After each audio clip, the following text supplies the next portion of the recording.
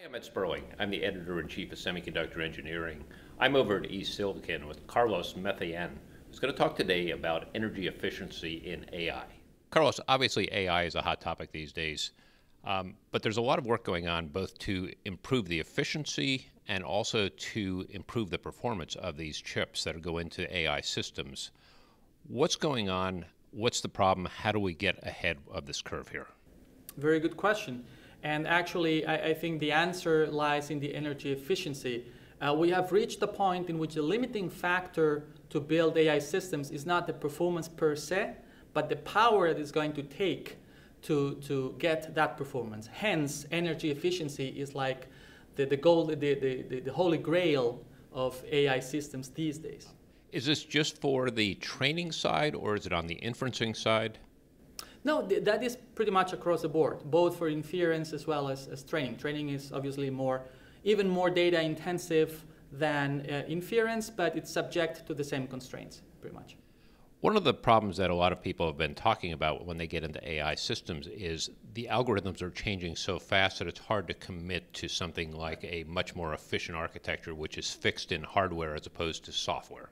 That, that is very true. And actually, um, most people will agree that ASICs are indeed the most energy efficient uh, implementation of neural networks. However, precisely because of the reason that you just gave, it has been hard to, to bring people on to the ASIC side of things. Uh, so, but that is a trend that is changing with, with some recent developments in the area. Why don't you draw some of this out for us? Sure. What are we looking at here? So, so this is a very simple representation of a neural network. Um, and it will serve to explain where the energy is consumed uh, in this kind of system, okay?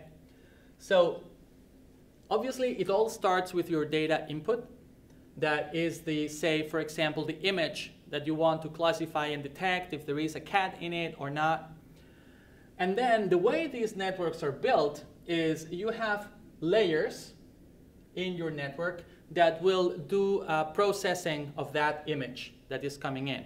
And at every layer, you will, you will perform different mathematical operations. Now, if you look at this carefully, every connection between one neuron and the next, which is typically called a synapse, um, has a weight on it, meaning you will give a different importance or relative importance to this information traversing from neuron 1 to neuron 2 uh, with respect to the others on the same layer. Okay, so we have here a first element the weights in the synapses, the relative importance of that information. Now, once the information from more than one neuron reaches the next uh, layer, this neuron will uh, perform some mathematical function on it. Typically, the basic mathematical function is the multiplication and accumulation. So basically, you will multiply the weight by the information being transported and then add a certain factor. Very simple mathematical operation is an addition and a multiplication. Very simple. That's the beauty of artificial intelligence. It's a very simple system. But you're going to do this many, many, many times. And uh, occasionally, you will also perform other mathematical functions, more complex, typically nonlinear functions. This is what we call activations. One response to this, in order to improve the efficiency and also the performance, has been to make the results not as accurate. That's not where you're going with this, right? You're trying to make the, what you have with the maximum accuracy and the maximum speed. Correct, correct. So what we're trying to, to uh, detect here is which operations, which functions are performed in this network, and then we will try to see where the energy is going. And that is true no matter which precision you are using for your data. Let's dig into this a little bit. How does this work? Okay, so we have seen how the information traverses the network and is accumulated and operated on on every neuron. So if you think about it, we have kind of three main operations here going on. One operation is the transport of the information, so the data movement.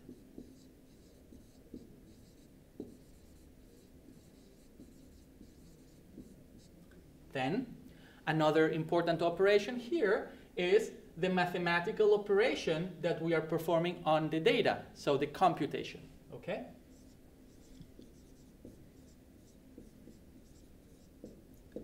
But what we have not highlighted yet is that this information that is being transported across the network needs to be stored somewhere. It cannot simply float in the air. So typically next to these neurons, you will have memory to store the information. So then the third element here is going to be the memory or the storage. And those three are the three fundamental elements where the energy is going to go. Typically, one of the ways that you really lose efficiency and also performance is by moving a lot of data over a long distance, right? Absolutely. And in fact, I would like to show you how different architectures are going to affect precisely the data movement that you're talking about. So, what's the ideal architecture for this? Well, if I knew that, I would probably be rich uh, today, but I can at least tell you what not the ideal architecture looks like.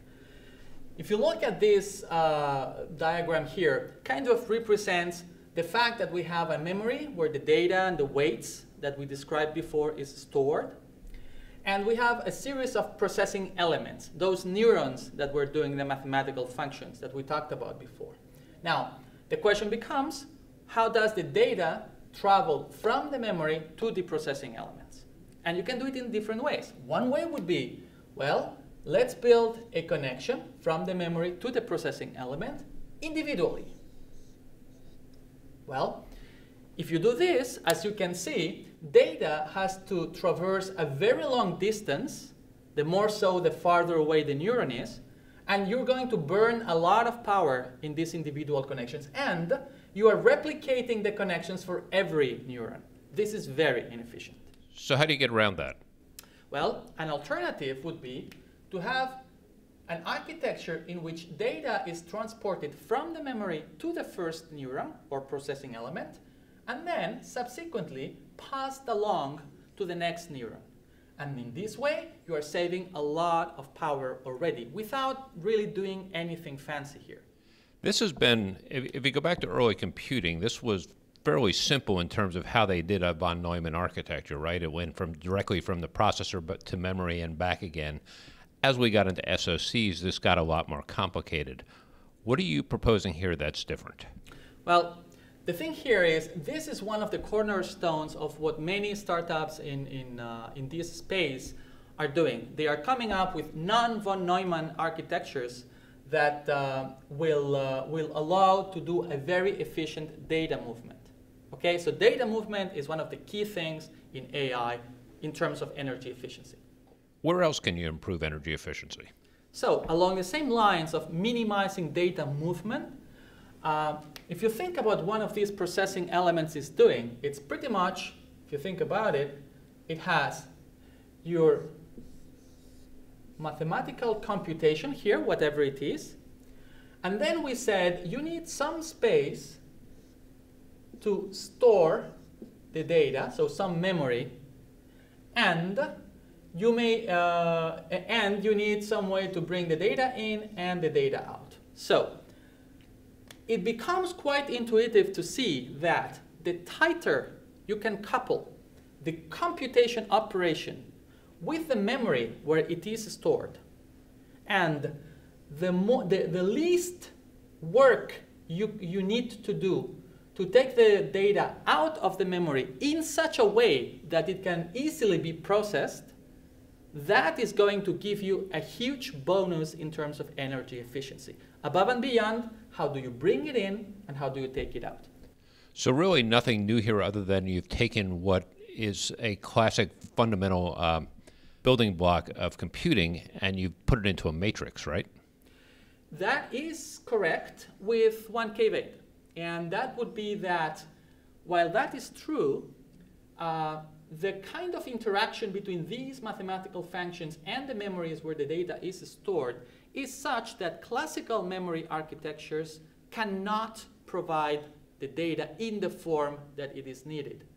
And that has um, spawned uh, a resurgence of interest in what is called near memory computing, which basically means how do we build memories and processing elements that are really intertwined. What else do you have to consider here?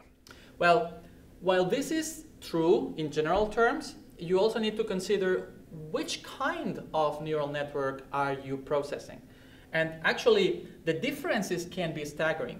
If you look at convolutional neural networks, maybe the star of current industry, uh, it is built in such a way that for every mathematical operation, sorry, for every weight that you bring into the network, you will perform around thousands of mathematical operations on that same data and that same weight. Okay? So obviously here, as you can see, you bring data once, you store it once, but then you compute thousands of times. Hence, logical conclusion, you need to optimize the computational part of it to the utmost degree. Now, if you look at a different kind of network, like for example, the uh, uh, long short-term memory kind of network, which is more adequate for speech recognition, for example, you will see that for every weight, you pretty much have one mathematical operation.